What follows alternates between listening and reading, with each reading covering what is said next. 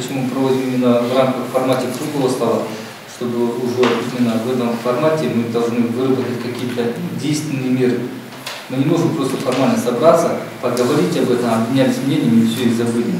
Прокуратуре города Тимиртау прошел круглый стол по вопросам мошенничества. В мероприятии приняли участие представители Акимата и Маслихата города, сотрудники полиции, банков второго уровня и общественность города. Данный вид преступления является очень проблематичным, поскольку раскрытие данного вида преступления э, связано с очень большими проблемами. Его раскрыть очень тяжело, поскольку мошенники используют очень развитые IT-технологии, другие программные обеспечения, с которыми очень трудно работать и, естественно, установить виновное лицо.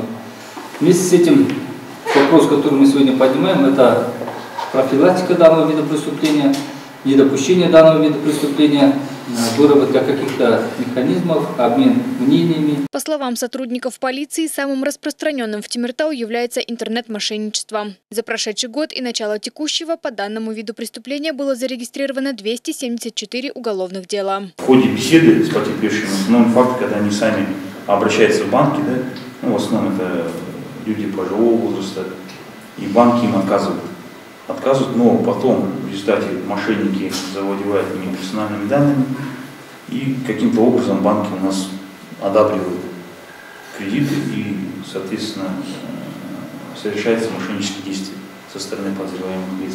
Предлагается рассмотреть вопрос и внести предложение в компетентный орган, что в случае одобрения онлайн-кредитов э, выдавать денежные средства, товары, там, на которые оформлены кредиты, чтобы э, выдавали в банках или там, в торговых домах при предъявлении сотруднику банка или соответствующего э, ну, заведения удостоверения личности данного лица. Тогда мы, соответственно, при соблюдении данных требований мы существенно сократим э, совершение данных преступлений. Особое внимание на круглом столе уделили вопросам профилактики интернет-мошенничества и информирования населения. Было бы более эффективно не, знаете, не вот эти всякие буклеты. Это уже вчерашний день. Да. Поскольку э, мы видим, практика показывает, не эти буклеты, не эти всякие бегущие строки и так далее, и так далее, они никакой пользы не дают.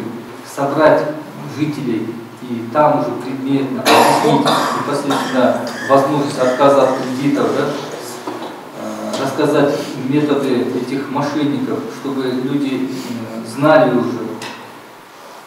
Не так, чтобы человек как бы визуально он не воспринимает эту информацию, а когда уже ему давать будет живой человек, я думаю, это будет немного другое, другое восприятие, другая картина. В ходе встречи были также предложены различные способы улучшения взаимодействия между сотрудниками полиции и банков второго уровня в целях раскрытия преступлений, усиления ответственности банков и улучшения методов борьбы с данным видом преступления. Кристина Кириченко, Игорь Евстигнеев, Новости Тимиртау.